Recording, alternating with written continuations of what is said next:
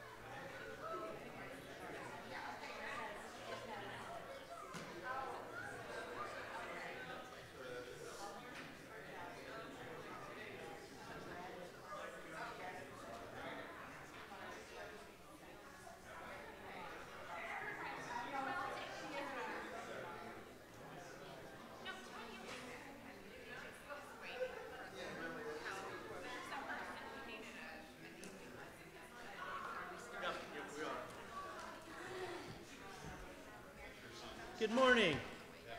Uh, just let you know that uh, Laureen fell and she's being attended to. They're going to uh, take her by ambulance to check her out, but she's uh, alert and talking, and uh, so that's why we're starting a little late. But if you can stand, if it's uh, if you can stand with me, and we will praise our God. Shout hallelujah.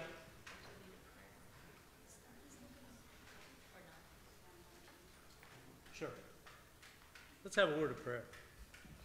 Dear Heavenly Father, we do thank you for all the blessings that you send us, and we pray that you be with Lorene, that you would give her strength, that uh, she will be okay and have no lingering problems. We just pray that you be with her and those that attend to her. We pray for your healing as you are the great physician. In Jesus' name we pray. Amen. Let us sing praises. Shout hallelujah. Shout praise the Lord. Shout hallelujah, shout hallelujah, shout hallelujah unto the Lord. Shout hallelujah, shout hallelujah, shout hallelujah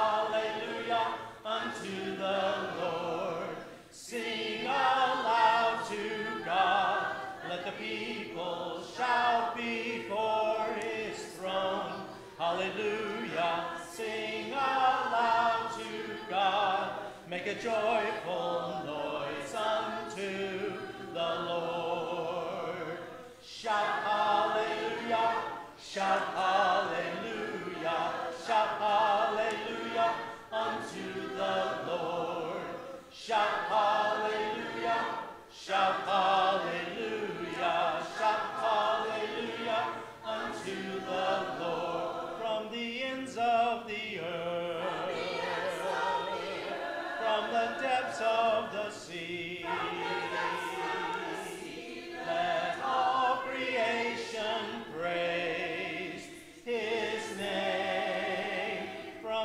ends of the earth.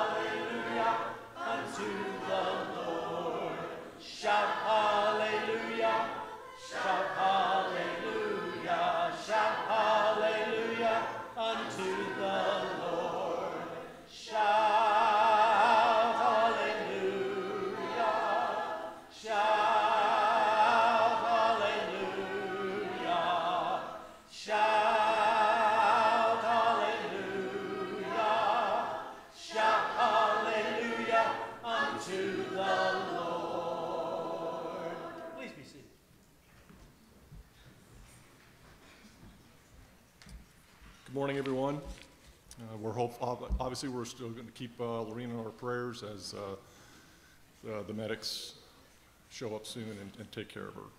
Uh, We want to welcome you to our service this morning, both live and in color on television, or your computer, or your phone, or your watch, or whatever you're using. Um, If you're a guest, we'd like to welcome you especially. There's a card in the pocket in front of you that has two sides, and one side is a kind of a, a record of your visit card. We'd like you to fill out that part and put it in the collection plate. And then anybody can use the other side uh, to also put in the collection plate any prayers or uh, notices you want us to be aware of and to keep in our prayers, uh, f- you know, as we uh, continue on. That didn't come out quite right. If you have a prayer, put it on the card, and we'll, we- we'll keep in mind of it and keep, add you to our prayer list. Um, And if you're missing any of the communion sides, uh, supplies, there's tables at either end of the, uh, there's three tables at the, behind the back pew. This is a good time to go, go ahead and get those. And finally, we'd, we'd ask that you make sure you shut off all your devices, you know, your watches, your phones, your tablets. I already said that list once before, I don't need to say it again. So, uh, our reading this morning is from, uh, 1 John chapter 5, verses 1 through 5 from the NIV. Everyone who believes that Jesus is the Christ is born of God, and everyone who loves the Father loves his child as well. This is how we know that we love the children of God, by loving God and carrying out his commands. In fact, this is love for God, to keep his commands, and his commands are not burdensome. For everyone born of God overcomes the world. This is the victory that has overcome the world, even our faith. Who is it that overcomes the world? Only the one who believes that Jesus is the Son of God. And let's go ahead and continue with our service this morning. O Lord, our Lord, how majestic is your name in all the earth. O Lord, our God, how majestic is your name in all the earth.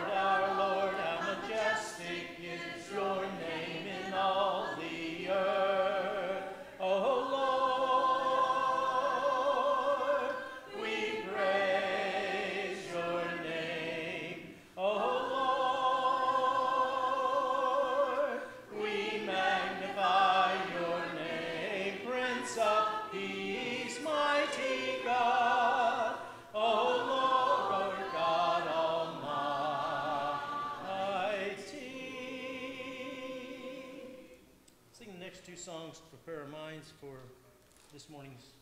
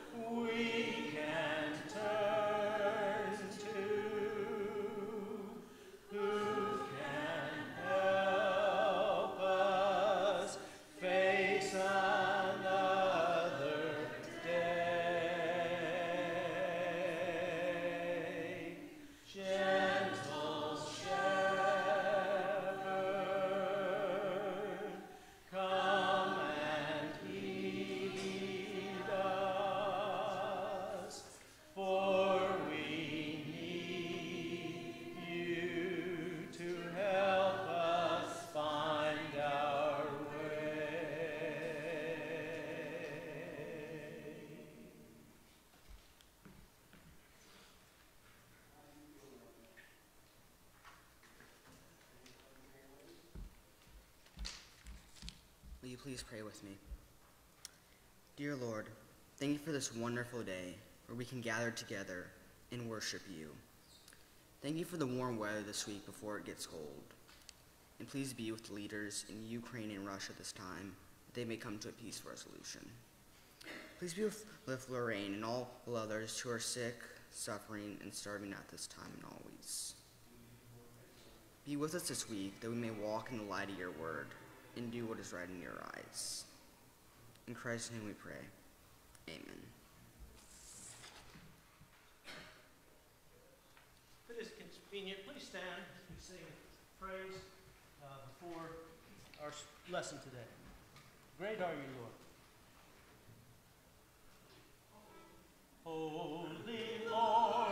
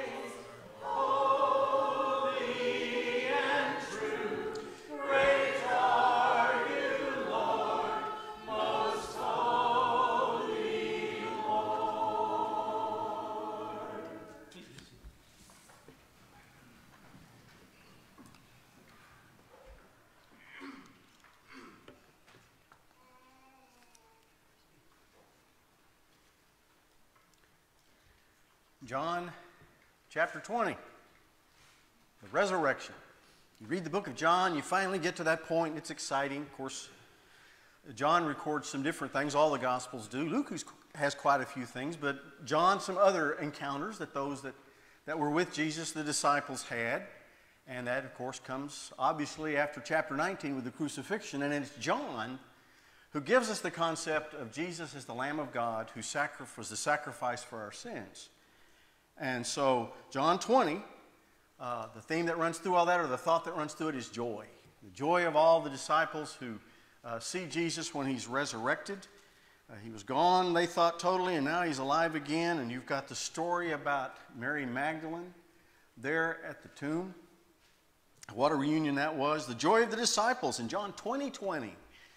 They saw Jesus. And I thought that was interesting the way it's numbered. John 20 20.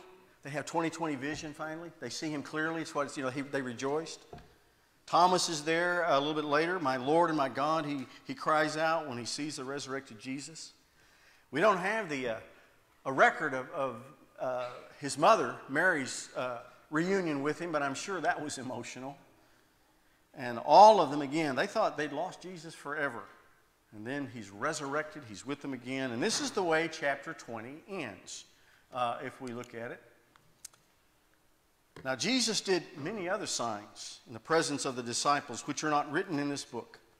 But these are written so that you may believe that Jesus is the Christ, the Son of God, and that by believing you may have life in his name. Now, this would seem to be a great set of verses to end the Gospel of John on. John reminds his readers that what he has told us is only just a small part of what Jesus did. And then, in a sense, he gives the invitation here, if you want to put it that way, that everyone who believes might have life. That's the way he opened. Chapter 1, John 1 12. People have life that believe. And so that's the way that chapter ends.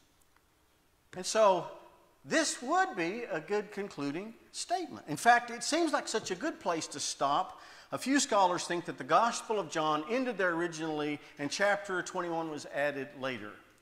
And they're wrong on that.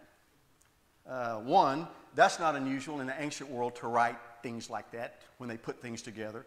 And two, the language, the wording, the sentence structure, everything, it is from John. And most importantly, chapter 21 fits perfectly with John's message. John 21 continues what Jesus had been moving towards all through that gospel. It's all about the cross, the resurrection, and the mission. For the disciples, it wasn't just about Jesus being resurrected and they're happy and, and that's the end of it. There was an outcome to the resurrection. There was an outcome for them and also for us. And we're finishing up on Peter today. We've done about three or four lessons on Peter. That's what we're on today. And as I mentioned uh, each week that we've talked, uh, Peter is one of two main characters in the Gospels. The two main characters are obviously Jesus, they're all about Jesus. But Peter is also very prominent in the Gospel story. Jesus uh, calls Peter in the Gospels. We find it a little bit different in the Gospels, but we find Peter coming on the scene in John, the first chapter. And so, in a sense, John begins with Peter, and then what we'll see is John ends with Jesus and Peter. And the Gospels, the different ones, record how Jesus called the disciples, and the one we've mentioned several times is Luke chapter 5. Jesus called uh, Peter and all the other disciples to be fishers of men, and he made his point with that great miraculous catch of fish. Now we get to John 21, and in a, in a way, I think we would say that Jesus is about to call Peter again, and he does it with a great catch of fish, a miraculous catch of fish. Now, as we've talked about Peter, there's so many ways you could describe him. Uh, we might describe him as impetuous. He's, you know, all those things we always say. But the first thing we want to say about Peter is he was very devoted to Jesus. He loved Jesus. And, and, and that he walked with Jesus for three years. He, he saw the miracles, he listened to Jesus teach. Uh, he was specifically chosen by uh, Jesus, given a nickname. And Jesus picked him uh, he loved Jesus deeply, and, and he was ready to go to prison for Jesus and to die for Jesus. But then we had our lesson last week. The Garden of Gethsemane. That's where, when the soldiers came to arrest Jesus in the garden, the Jewish soldiers, the temple guard, when they came to arrest Jesus, it was Peter who pulled out the sword and attacked. And he became totally confused when Jesus stopped him, told him to put his sword up. And then Jesus was taken away, he was put on trial. And Peter was watching at a distance, and people began to recognize him. You were with him. And he denied that he knew Jesus three times. And after that had happened the third time, we read in more than one of the Gospels that he went out and wept bitterly. And his life at that point, he had to see everything as falling apart. And I think we can all know with 100% certainty that Peter was praying desperately to God to help him make sense out of his life, what was happening. But then, like I say, we get to John, John 20 and 21. The resurrection, Peter experienced what the good news is all about. The resurrection account that we have in the Gospel of Mark gives those words I've mentioned before, and you're familiar with them. When the women went to the tomb, remember they went to the tomb and they found the stone rolled back, and there was the angel, and the angel had a message Go, but go tell his disciples and Peter that he is going before you to Galilee. There you'll see him, just as he told you. So Peter was specifically singled out. Now, Peter's failure, those denials, that's recorded in, in detail in all four Gospels. And that gives a lot of meaning to that verse here in verse 7 in Mark 16. And again, imagine what it must have been like when Peter saw Jesus alive again. Of course, it was more than just seeing Jesus alive. In a sense, I think we could say that Peter lived again. He was forgiven. His relation, relationship with Jesus was restored. In fact, I would go so far as to say that Peter's relationship with Jesus became brand new. And Jesus, in the account we'll look at here in John, is given the call a second time. This will be our theme slide for today, the verses we're going to look at. So if you have your Bibles, go to John 21, and we're just going to read through these and just talk a little bit about what's happening. John 21, verse 1 says, After this, Jesus revealed himself again to the disciples by the Sea of Tiberias. And he revealed himself in this way Simon Peter, Thomas called the twin, Nathanael of Cana in Galilee, the sons of Zebedee, and two other of the disciples were together. Simon Peter said to them, I'm going fishing. And they said to him, We'll go with you. And they went out and got into the boat, but that night they caught nothing. Peter says, I'm going fishing. And it's interesting, and well, I think probably that seems a little strange on the surface. And I've, I've read some of the commentaries, and they say, well, you know, Peter had another failure here. He decided to return to the world. He's turning back to the world. And he had this great experience with Jesus, and all of a sudden he decides he's going fishing. But I don't really think that's what's happening at all. Because here's the point he went fishing. That's it. He's a fisherman. And uh, someone pointed out maybe their funds ran low, and they may have. Uh, but that's what they did. They went fishing. And they fished that night, and again, this sounds so, so much like what we've seen before. They fished all night and caught nothing, which is important. Because just as day was breaking, Jesus stood on the shore, yet the disciples did not know that it was Jesus. Jesus said to them, Children, do you have any fish? They answered, No. He said to them, Cast the net on the right side of the boat, and you'll find some. So they cast it, and now they were not able to haul it in because of the quantity of fish. And the disciple whom Jesus loved, which is John, therefore said to Peter, It is the Lord. When Simon Peter heard that it was the Lord, he put on his outer garment, for he was stripped for work, and he threw himself into the sea. The other disciples came in the boat, dragging the net full of fish, for they were not far from land, but about a hundred yards off. So Jesus was standing there on the seashore at a distance, and the disciples didn't recognize him. And he told them to cast their nets on the other side of the boat. And so they did, and they caught this huge number of fish. And when they caught all these fish, that's when John told Peter, It is the Lord. Because when they brought, started pulling those nets in, uh, John recognized him because John had seen this before. In Luke chapter 5, when there was that miraculous catch of fish. In Luke 5, not only did they have a miraculous catch of fish, but, but Jesus called Peter and John, and the others, to follow. He would make them fishers of men. And now in John 21, there's another great catch of fish, another miracle, and John cried out, It is the Lord. When Peter heard this, he put his outer garment back on, he'd taken it off to work, and he just threw himself and began to threw himself into the sea and began to swim back to shore because they're dragging all those fish, and that boat's too slow for Peter. How would you describe him? Well, he is showing a great devotion to Jesus. We see his single mindedness, which is going to be important in a minute. And there have been a ton of sermons done on what he did right here. He wants to be with Jesus. So, verse 9 When they got on land, they saw a charcoal fire in place with fish laid on it and bread. And Jesus said to them, Bring some of the fish that you've caught. So Simon Peter went aboard and hauled the net ashore full of fish, large fish, 153 of them. And although there were so many, the net was not torn. Jesus said to them, Come and have breakfast. Now, none of the disciples dared ask him, Who are you? They knew it was the Lord. Jesus came and took the bread and gave it to them, and so with the fish. This was now the third time that Jesus was revealed to the disciples after he was raised from the dead. Now, a lot of people try to make a big deal out of the number. John gives a specific number, 153, and they say there's got to be some symbolism. Well, that's not a very good Bible number. But they try to see symbolism. And I think there's 153 because John's impressed. That's a bunch of fish. And if you know fishermen, well, I can tell you, when I go fishing, when I get back, my wife says, How many did you catch? How big were they? Now, a lot of times we say, How many did you catch? I'm always ready to tell her, but sometimes my number is very small.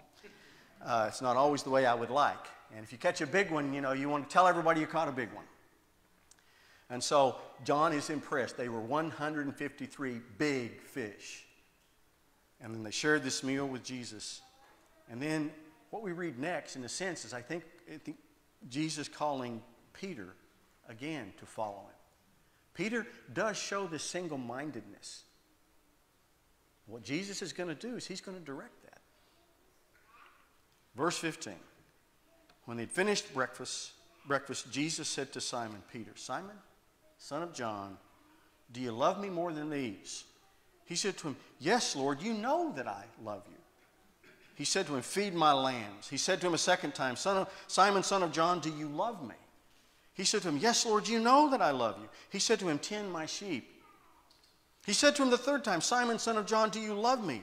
Peter was grieved because he said to him the third time, Do you love me? And he said to him, Lord, you know everything. You know that I love you. And Jesus said, Feed my sheep.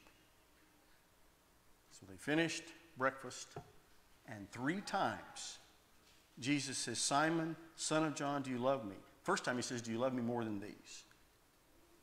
Why did Jesus ask three times? Well, I think it probably has something to do with the fact that Peter denied him three times. And also, if you've heard lessons or you've read a commentary, you'll see that they make a big deal out of the different Greek words used for love right there. And uh, Greek scholars who deal with John say, no, there's not a sermon in that. John uses those words interchangeably. And Jesus then says, Do you love me more than these? And I was, I was enjoying reading commentaries this week, and everybody had all kinds of ideas on what are the these. And they say, Well, it was, Do you love me more than the other disciples did? And so you read all this stuff, they're talking about the Greek words, and they're talking about what these is. And I think the real point is, is Jesus is saying, Peter, do you really love me?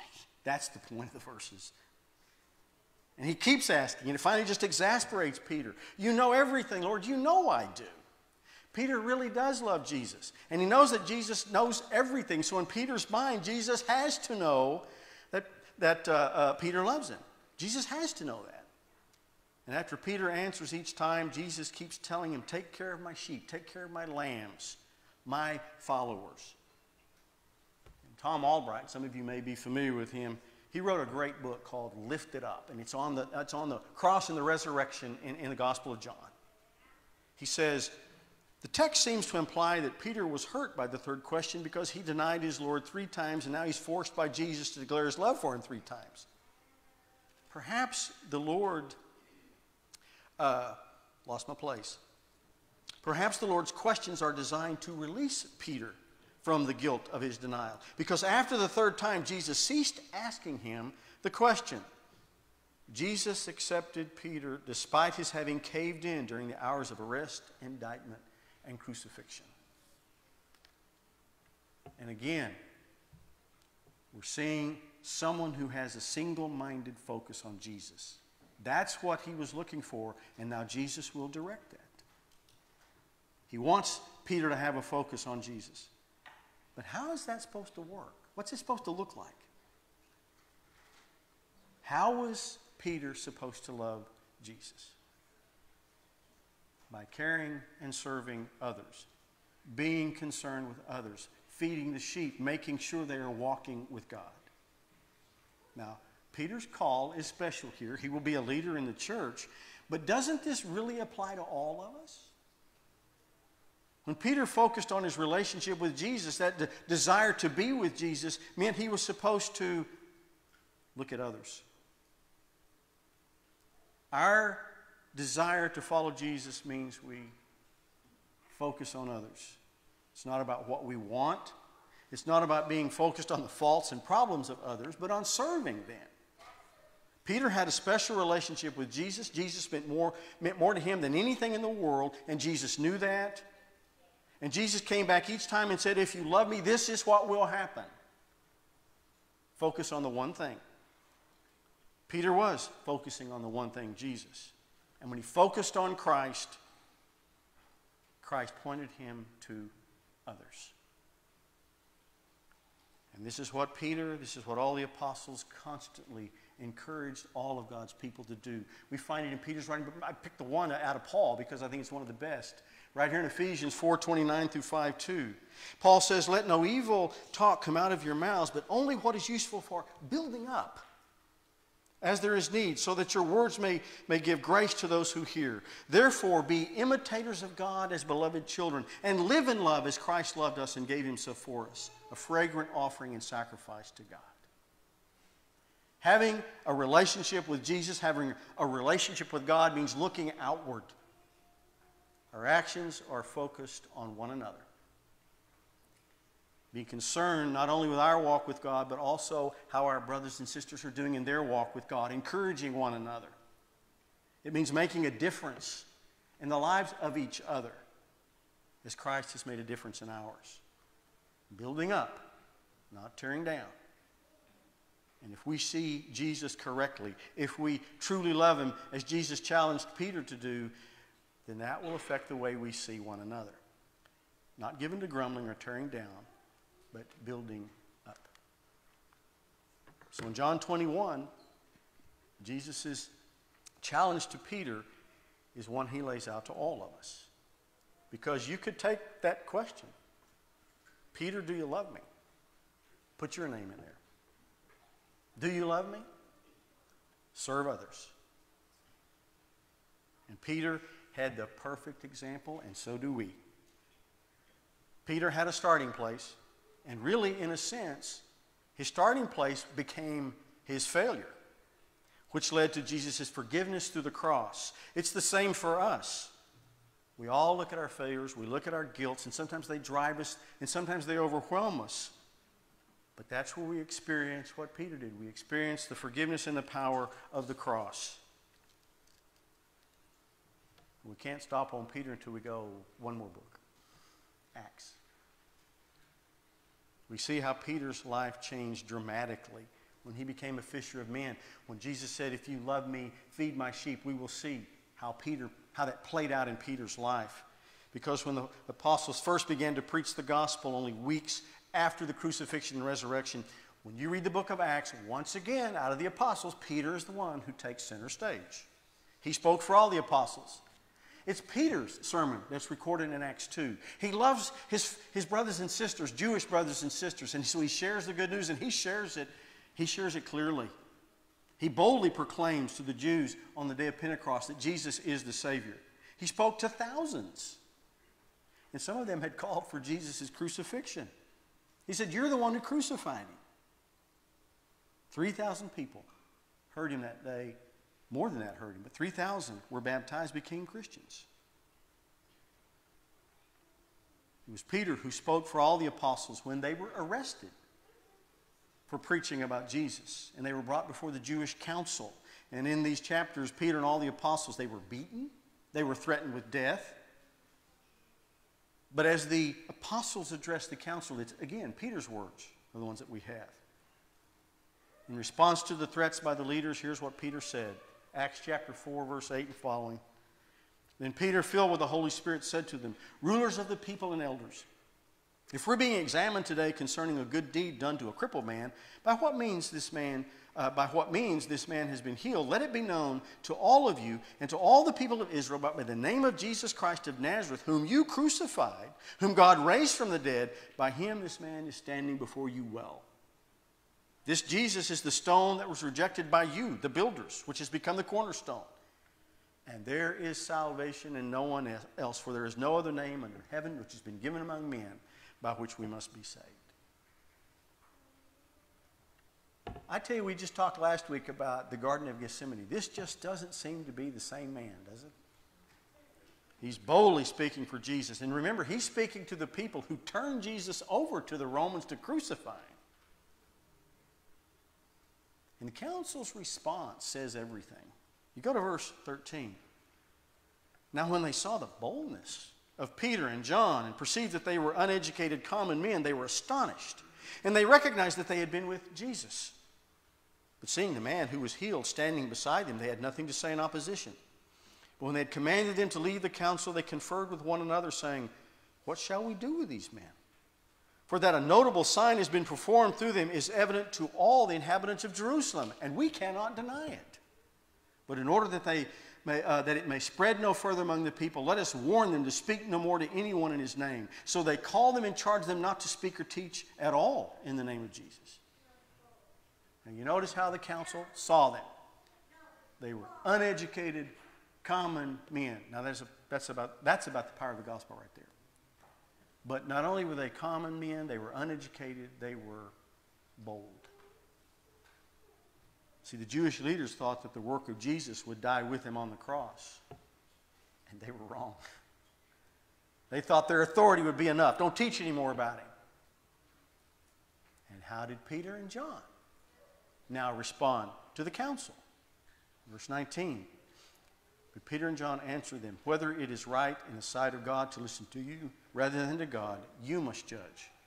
We cannot but speak of what we've seen and heard.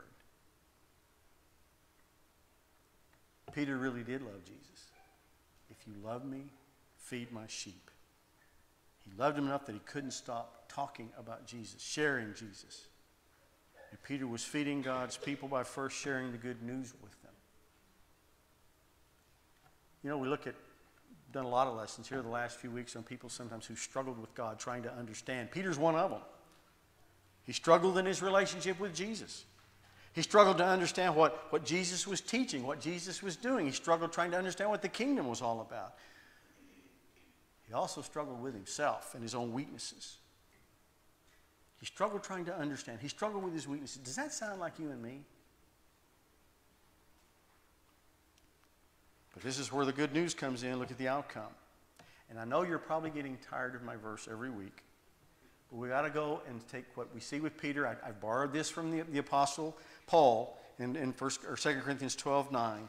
It applies perfectly, but it's talking about Jesus. Jesus said to me, talking to Paul, My grace is sufficient for you, for my power is made perfect in weakness. Paul took his weaknesses, his concerns to Jesus, and this was Jesus' answer My grace is sufficient for you, for my power is made perfect in weakness. It applied to Paul, and oh, it applies to Peter too. But we'll touch one more point on Peter and we're done. Because John still has a little more in that conversation with Peter. And this is kind of where it ends with Peter. Peter, this is the last conversation that we have in the Gospel of John. Chapter 21, verse 18. Truly, truly, I say to you, talking to Peter, when you were young, you used to dress yourself and walk uh, wherever you wanted. But when you are old, you will stretch out your hands, and another will dress you and carry you to where, carry you where you do not want to go. This he said to show by what kind of death he was to glorify God. And after saying this, he said to him, Follow me. Ooh. That's a focus outward. And Peter lived it. He was faithful until death. Following meant giving his life. After he spent his life serving, feeding Jesus' sheep, serving others, notice what Jesus says here. He says, You're going to die. Follow me. And Peter followed Jesus literally all the way to the cross. I know we've talked about this. Some say he was crucified upside down. There's no real historical evidence for that, just church tradition, but we do know he was crucified. He literally followed Jesus to the cross. And after all Peter had seen, after all he had experienced, he knew it was worth it. And then John ends by trying to tell us, and limit, he doesn't have the words. What an amazing God we have, how amazing Jesus is. The last verse. Now, there are also many other things that Jesus did. Were every one of them to be written, I suppose that the world itself could not contain the books that would be written. Yeah, Jesus is what the Gospels are all about. Jesus' disciples, you know, especially Peter, he struggled in that relationship with him. He struggled with himself. We see in Peter, he had this guilt, he had this failure, but then we see the power of God's grace and mercy. We see the power of the cross as, as, as Jesus and the Holy Spirit worked in Peter's life. And, and Jesus was transformed into the follower that Jesus wanted. The grace and mercy of Jesus, the power of forgiveness, the power of the Holy Spirit is what? That's for us too. And it is God who transforms us into the disciples that He wants. Jesus wants us to look like Him. And we need to serve others and serve in our world.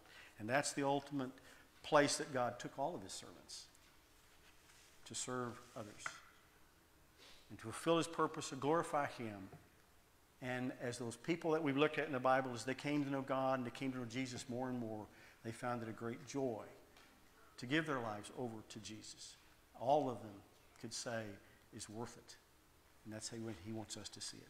So this morning we're going to stop there. Uh, we have an invitation song that Larry's going to lead us in. And if you need to respond, the great invitation in John at the end, it's always there. For those who believe, the power to become children of God is there. And if you'd like to, if you've not become a Christian, you'd like to, to become one and be baptized into Christ, we'd love to talk to you. If you're struggling in your walk, as we've seen so many of God's servants, and you'd like to, for us to pray together, we always pray for one another. We're always available, not just on Sunday morning, but always. So we would be happy to do that with you. If we can help you any, with anything, won't you come as we stand together and as we sing? Just as I am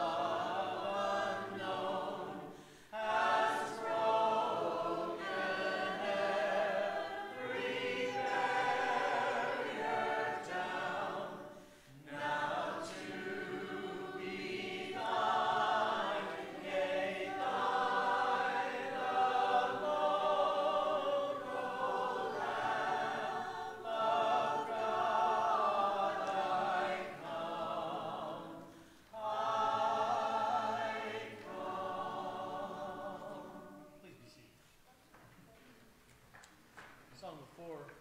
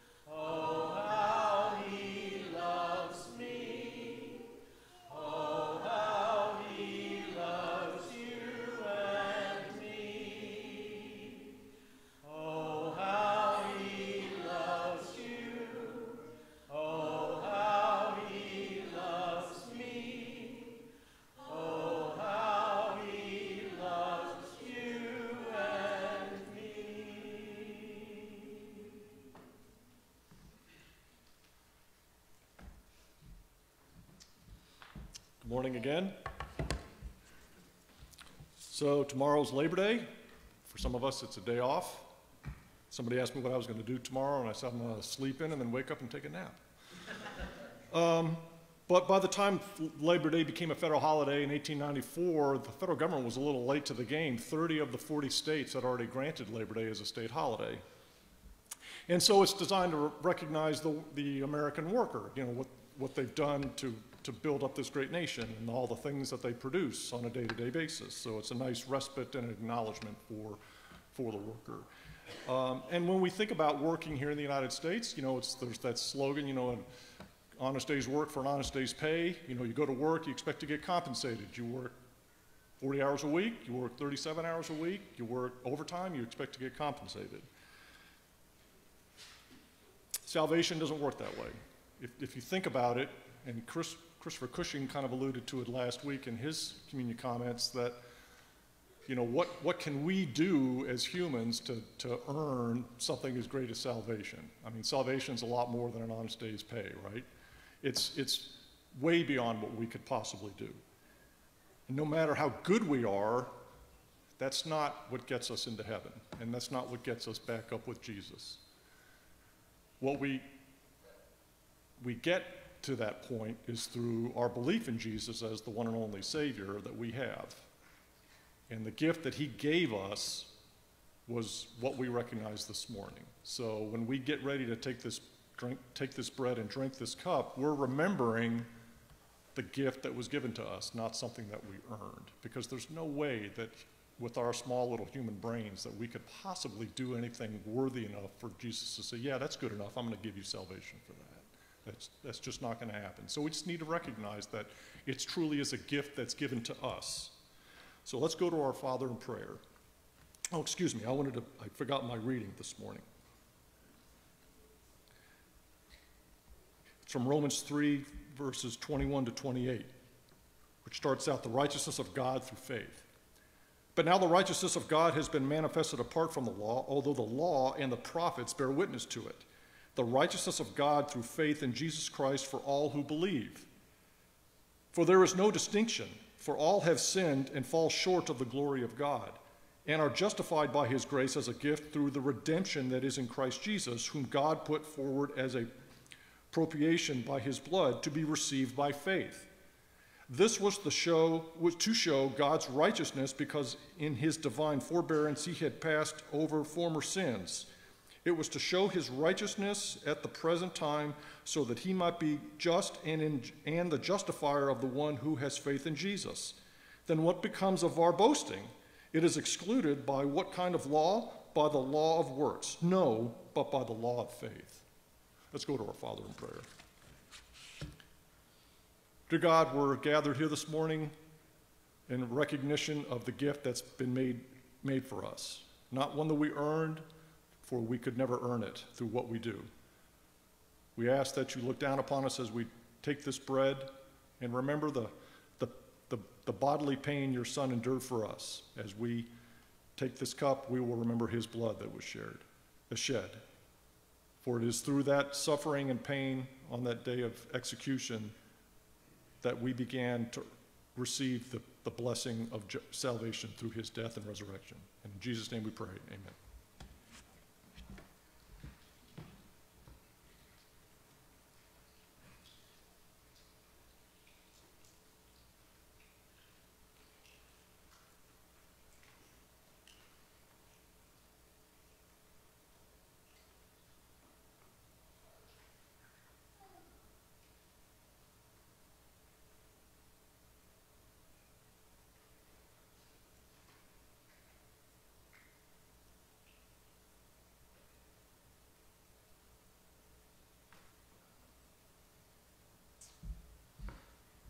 Let's go back to our Father in prayer. Dear God, we continue this remembrance of your Son's pain and suffering through the drinking of this cup. The pain that he endured was unimaginable, as was the blood that he shed, knowingly given up for us. Through the pain and suffering and the shedding of his blood, and the resurrection he, he did three days later is the sign to us that the salvation we have is truly a gift from God. So we're very thankful for what Jesus did for us through the giving of his, his, his body and his pain for our salvation. And in Jesus' name we pray. Amen.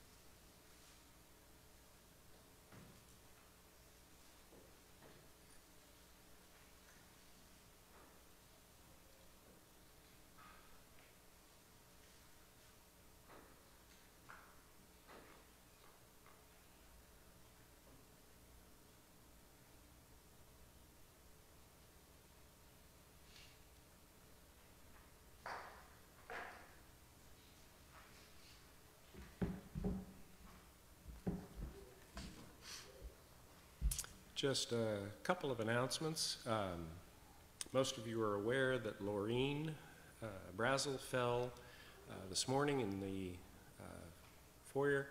Uh, She has been taken to the hospital. It doesn't seem like there was anything dramatically wrong, but she was complaining about her hip. So uh, anyway, we don't have any, I don't have any word about her, but uh, we certainly want to pray for her that she will be okay from this.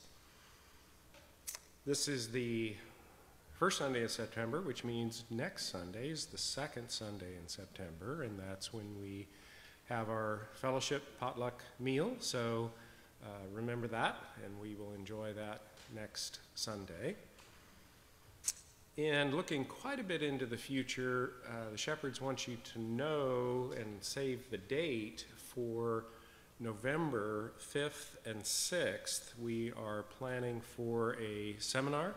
We will have someone coming in from Harding University and helping us to be better disciples and helping us to better understand how we can help others to become disciples of Jesus. So, uh, November 5 and 6, Saturday and, and Sunday, we are, we are planning for that. Lots and lots of uh, prayer requests in the bulletin. I'll just refer you to those um, that you can be praying about those this week. If there's nothing else, we will close our services this morning with prayer. Father in heaven, we do, uh, we do love you. Uh, we do want to serve you and serve others uh, because of our love for you. And we love you because you have first loved us. And we thank you and praise you for that. We thank you and praise you for Jesus and his life and his sacrifice. We thank you and praise you for those early disciples like Peter who were so brave and so bold and so instrumental in uh, the beginning of your church, the beginning of your kingdom here on, on earth.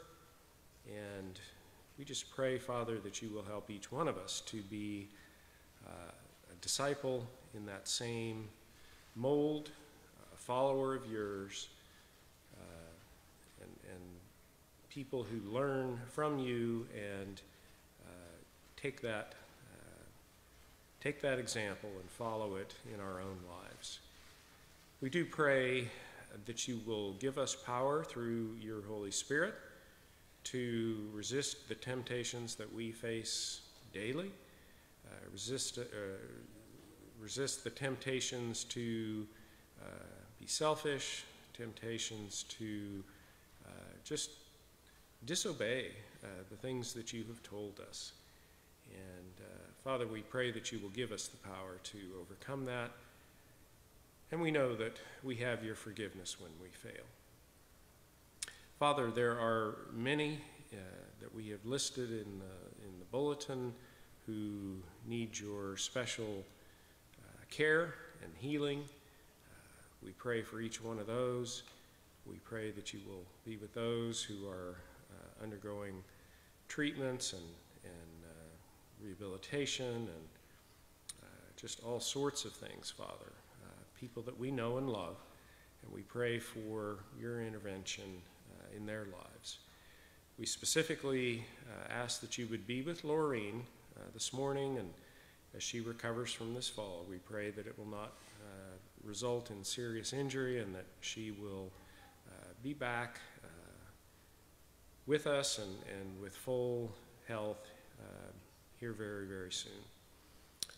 Uh, we ask that you would be with each one of us now as we leave this place, as we go to our uh, daily lives, that we will uh, act like your children, that we will act like your servants, that we will, uh, in various ways, carry your message of love and salvation to those that we come in contact with.